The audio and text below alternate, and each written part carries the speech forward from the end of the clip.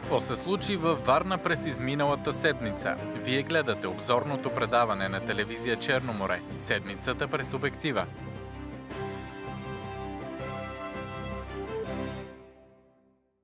Господин контрадмирал, почетният Карол по случай 6 септември, денят на Съединението на България е построен. Началник на Карола, капитан лейтенант Данков. 134 години от Съединението на княжество България и източна Румелия почете Варна. Тържествата започнаха с поднасяне на цветя пред паметната плоча на княз Александър Батенберг на сградата на Държавния архив. Мястото е исторически свързано с датата 6 септември, защото именно тук е произнесен официално акта на Съединението и е изпратена телеграма до руския император с искане за неговото покровителство. Венци и цветя бяха поднесени от името на всички официални институции в града, неправителствени организации, военни ветерани и граждани.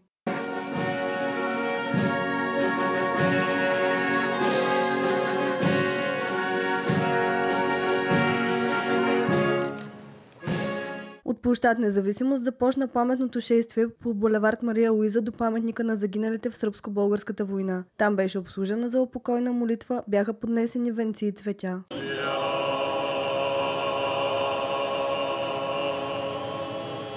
По молитвите на светите наши отци, Господи Исусе Христе, Боже наш, помилуй ни. Попитахме варненци, обединени ли сме днес 134 години след подвига на Съединението.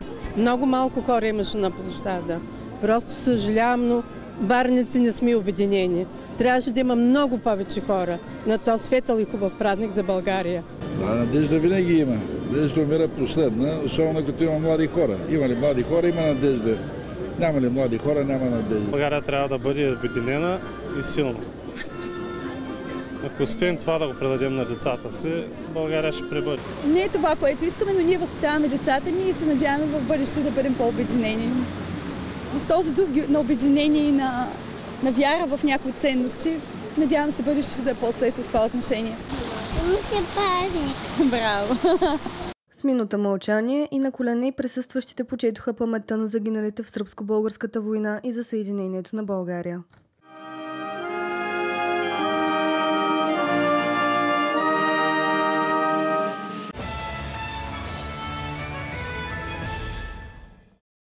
Натрупаните хиляди автомобилни гуми под Аспаруховия мост във Варна вече се извозват на лицензирана площадка от РИОСВ. До момента почти половината от тях са преместени, но извозването продължава. Екоинспекцията е дала срок до 17 септември опасните отпадъци да бъдат премахнати. Експерти твърдят, че няма опасност от пожар, защото гумите са складирани до общинския паркинг за репатрирани автомобили, където има денонощна охрана. При палеж е рисково, но в интерес на истината една гума не се запала толкова лесно трябва да бъде наистина умишлен палеж. Не може от хвърлена цигара или от хвърлена хартийка да се запалят. На същото мнение са и служителите, които разчистват гумите. Трябва да изчистим тук района. Няма да има опасност от пожар. Невъзможно е, защото оттатък е работилница, както гледам, насам също паркинг. Как да стане? Гледаме по най-бързия начин да ги махнем от тук. Кола след кола, идват и колите, товарим, изнасят се. Гумите са наследство на община Варна от гражданите, които имат навика да ги изхвърлят из града. Много от тях са събрани по време на почистването на деретата след наводнението в квартала Спарухово. Не е нормално да има толкова гуми. В крайна сметка тук е паркинг. Не е гумаджийница.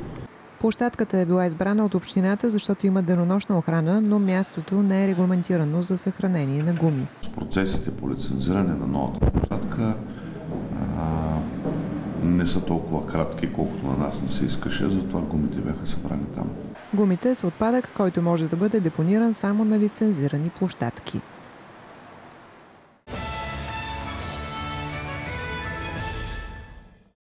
Понеделник вечерта в близост до бившето военно поделение, жител на село Любен Каравелово, забелязва човешко тяло да лежи неподвижно на земята. Притеснен той веднага сигнализира до кмета на селото.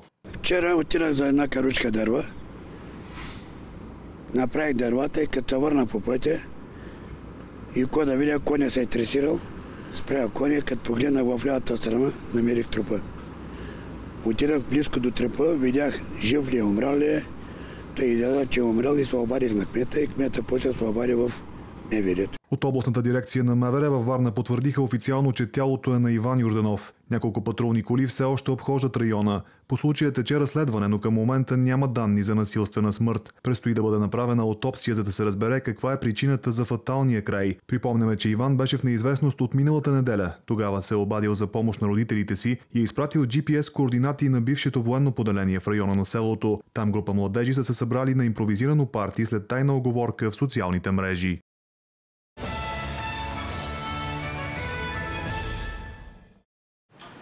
Обновяването на фасадата на хирургичния блок и спешния център в болница Света Анна във Варна ще приключи на есен. Това съобщи изпълнителният директор доктор Красимир Петров. По думите му ремонтите вървят усилено от месеци, а важното е като завършат да има гаранция, че добрият изглед ще остане години наред. Обновяването обхваща и покривните конструкции, където се налага сменени с панорамни с стъклата от задната част на хирургичния блок, което променя коренно визията й. Модернизацията върви от около две години в по-усилени темпове. Целта е болницата да бъде преведена с, в тон с изискванията и очакванията, които имат пациентите от подобен тип здравно заведение. До този момент бяха отремонтирани почти всички отделения, които работят с пациенти, плюс, плюс 90% от тези, които не работят с пациенти. И от тук нататък започваме да обръщаме по-голямо внимание на общите части. Идеята е с течение на времето най-старата Варненска болница да придобие европейски вид. Във връзка с модернизацията до дни ще бъдат премахнати два стари склада в двора на хирургичния блок, неогледно метално хале и порутена сграда. Проблемът е, че те са станали свърталище на бездомници. След пребазирането на патоанатомията на ново място, на старото са засечени много кражби. До събарянето се е стигнало, за да се избегнат нови осложнения. А оттам нататък, лека по лека, се надяваме да направим една реконструкция на района с а, запазване на дърветата, на зелените площи, нещо повече с увеличаване на зелените площи Евентуално ще бъде реставрирана и най-старата сграда в близост до двата склада, а идеята е там да се създаде раздвижен музей с фотоси от историята на болницата. Предвижда се и малко барче. Останалата част от реставрираната сграда ще се ползва от персонала на лечебното заведение. Обновяването на фасадите се извършва с целева субсидия от Община Варна в размер на 350 000 лева.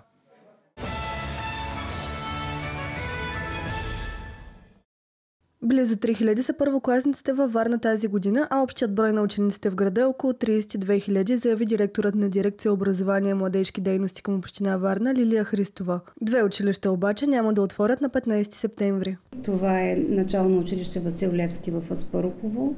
То ще посрещне новата учебна година в средно училище Любен Каравелов, отново на територията на Аспарухово. И още едно училище няма да посрещне началото на учебната година, но то е държавно. Това е професионалната гимназия по економика Раковски, която влиза по региони в растеж и е необходимо учениците да бъдат преместени в новия, в малкия корпус на основно училище Стоян Михайловски в Владиславово. Община Варна работи успешно механизмът между институциите за връщане на децата в училище. Повече от 2000 са направените проверки от специалисти на дирекцията. Даните за миналата година показват, че почти половината от децата са в чужбина, а върнатите отново в клас са 402. По механизма се предлагат комплекс от мерки. Тук Община Варна е част от звеното, което се ръководи от регионалното управление на образованието и мисля, че с... ние сме обезпечили всичко това, което се изисква като нас, като община. Тоест, ние сме се създали районите за обхват, подпомагаме, както чухте, 2251 проверки никак не са малко. Община Варна разработва нова наредба за прием на децата в детските градини и ясли. Идеята е тя да се уеднакви с системата и условията за прием в първи клас. По отношение на образователната инфраструктура, Лилия Христова заяви, че започва строеж на нова математическа гимназия в града, както и отделна сграда за основно училище Петко Славейков. Обмисля се и проектирането и изграждането на основно училище с предучилищни групи и в един от курортите край Варна. Продължава и строителството на спортни площадки в детските градини в града.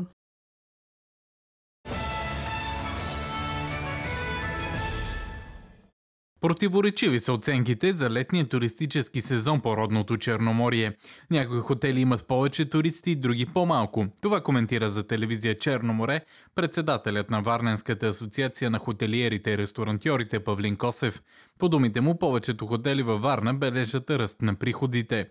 Той се дължи на повишение на цените и 1-2% повече туристи спрямо миналата година, която беше силна за сектора. Другото, което е доста по-активно започнахме да използваме управлението на приходите или revenue менеджмента.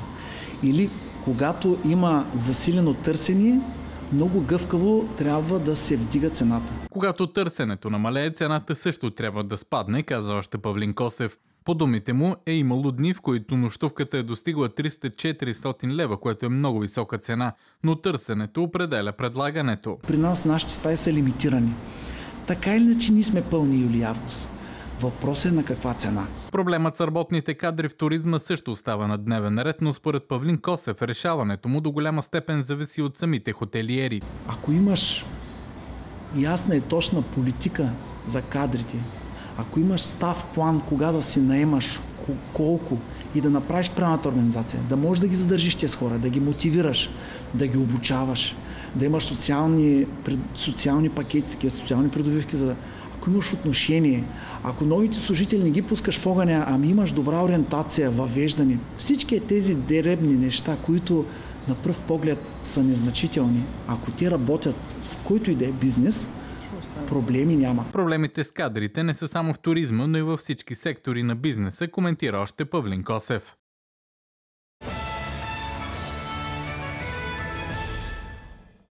Нормализираните отношения между Русия и Турция остават една от причините за по-малко посещения от руснаци у нас през този сезон. Турция, Египет и Тунис са ни конкуренти, но само за някои пазари. България трябва да се насочи не към конкретни националности, а към хора с определени предпочитания по отношение на начина на обслужване. Това каза за телевизия Черно море професор Станислав Иванов, експерт в областта на туризма. По думите му, основните проблеми, върху които може да се работи, са два. Първият е достъпността има различни възможности. Чартърни, и, чартърни полети и редовни линии, съответно с автомобил. Това са основните варианти, по които могат да дойдат. Редовни полети до Варна има много малко. Изключително малко. Това, което е необходимо, е да бъдат отворени още линии, които да могат да привличат туристи, които не са чартърни туристи, а повече за бизнес пътуване. За тези, които идват от Румъния, например, и използват автомобили, трябва да има осигурени паркоместа и хубави пътища, за да стигат безпроблемно до хотелите. Вторият основен въпрос, според професор Иванов, е, че не трябва да се допуска на туристите да им е скучно. Туриста, когато дойде, той трябва да има какво да прави. Той не само да стои на плажа или да бъде на басейн. Трябва да има раз... анимация, трябва да има различни занимания, да може да отиде на шопинг, да може да кара джет, сърф, парасейн, каквото и да е не само да ги има тези разнообразни услуги, но и те трябва да бъдат с достатъчен капацитет. Фактът, че има да речем в 5 джета в даден курорт с 30 000 легла, не е достатъчен. За някои хотелиери сезонът беше прекрасен, а за други катастрофален. Тези, които си направиха маркетинга предварително и дългосрочно, имаха успех. Останалите, които наблягаха на промоции и ниски цени, не постигнаха финансови резултати, подчерта още професор Иванов.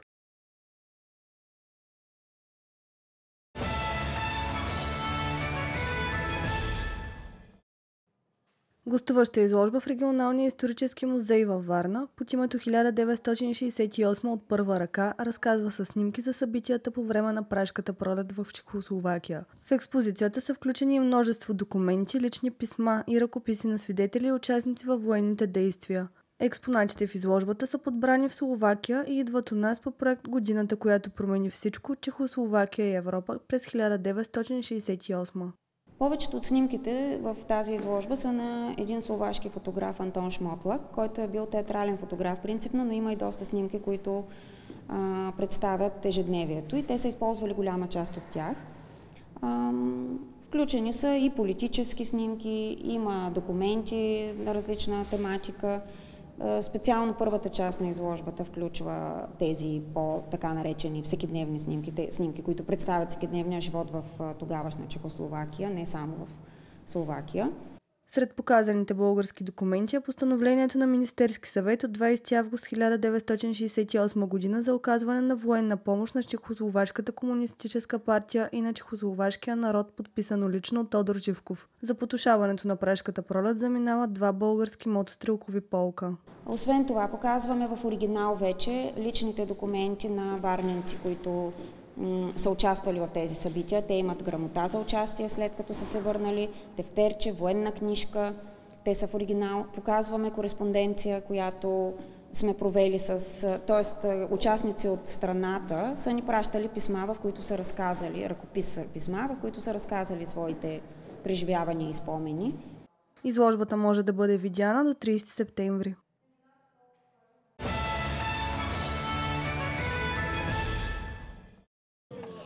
С противоречиви чувства от морската експедиция Бора 4, един от двамата български участници, Теодор Роков, варненецът, се завърна след 10-дневно плаване на борда на тръстиковия кораб, който отплава от Варна на 16 август. Подготовката, строежът и самото пътешествие са били незабравими.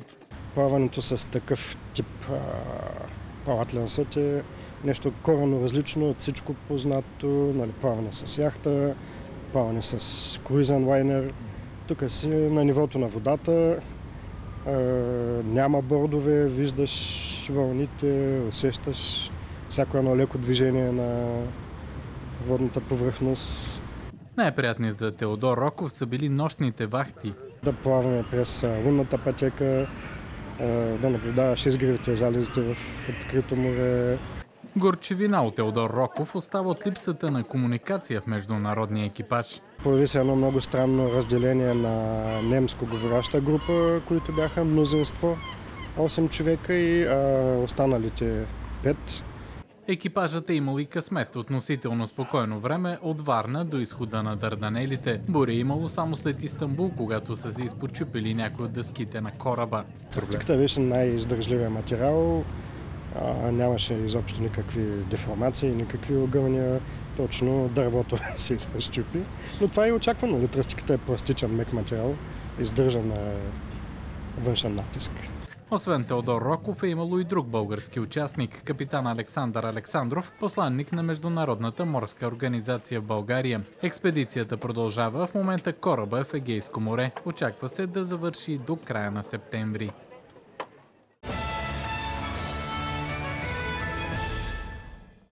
За 12-та поредна година инициативата Жълти стотинки обединява хиляди българи в обща кауза да събират монети от една, две и пет стотинки, които да дарят в подкрепа на детски болнични отделения в страната. Този месец кампанията е активна във Варна до 8 септември като част от Младежки фестивал. Сборният пункт е на площад Независимост всеки ден от 15 до 20 часа.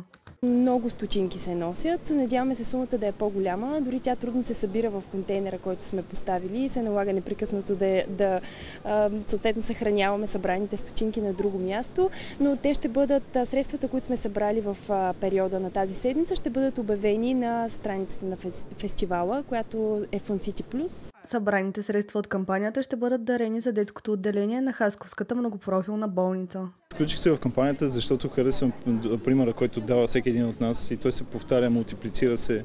Така всеки в джобовете си е пълен с едни стотинки, които обикновено за нищо не ги използва, пък за една такава кауза се оказа, че в един момент се събира страшно големи суми.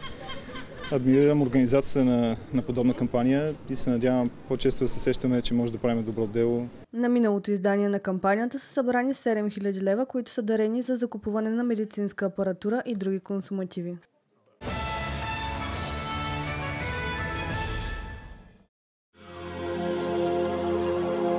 Camp в Турция е един от двата космически центъра за обучение в света, създадени по модел на НАСА, като в Европа, Азия и Близки изток това е единственият функциониращ учебно-тренировачен лагер. Той се намира в Измир, Турция. Camp в Измир е направен по модел на НАСА а, всички тренажери, които са а, в Space Camp, включително совалката Discovery, са доставени директно от НАСА. От 18 до 24 август в третия космически лагер за лятото са участвали 42 ученици от България, най-голямата група в Измир. Сред тях и трима варненски представители – Кремена, Александър и Георги. Правихме една мисия, като все едно наистина изстрелвахме ракета. И лично според мен това беше най-интересното, защото аз бях долу в контролния център. Имахме хора, в, хора, които правиха експерименти и хора, които управляваха ракетата. И ни трябваше да им помагаме да изстрелят ракетите, да направят една орбита и да се върнат на Земята. Освен това, учениците са обличали скафандри, тренирали са на реални тренажери за подготовка на астронавти и са преминали още много други интересни дейности. Например, безгравитационната стена. Там ни закачиха на стол, който ни притегля и от другата страна пълнят един варел с вода, който тежи толкова колкото нас. И така ние можем да се движим нагоре и надолу по тази стена без гравитация. На мен е много ми направи впечатление симулатора а, за ходене по луната. Вдигате нагоре в, а, във въздуха в, и, а, и почваш да вървиш все едно си на луната и стъпваш и подскачаш.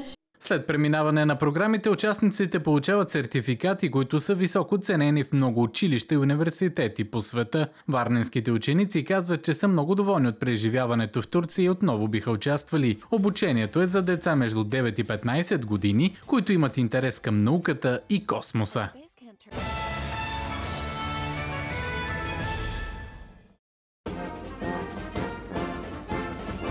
По традиция в края на лятото цирк Балкански гостува във Варна, за да покаже върховни циркови умения на своите почитатели. Тази година гостуването им е за 18 път и носи артистичното име Калейдоскоп. В програмата гостуват едни от най-завените артисти на Колумбия, Бразилия, Русия, Беларус, Украина, Полша, Германия, Армения и България. Спектакълът във Варна е изцяло нов. Разбира се, сме запазили акцента на Цирк Балкански и нашата запазена марка. Това е колелото на смъртта и глобусът на смъртта с мотоциклетите.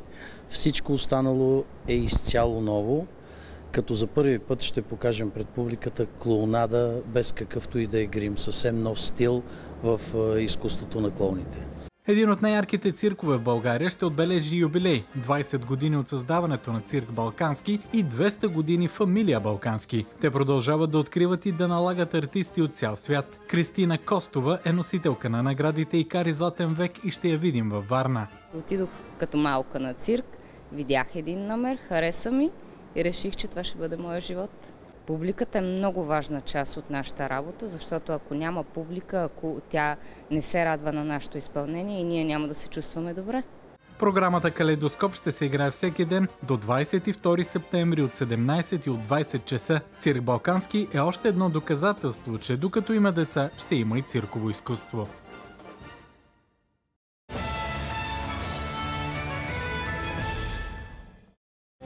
Това се случи през изминалата седмица, тук, във Варна, а обектива на телевизия Черно море засне новините такива, каквито са.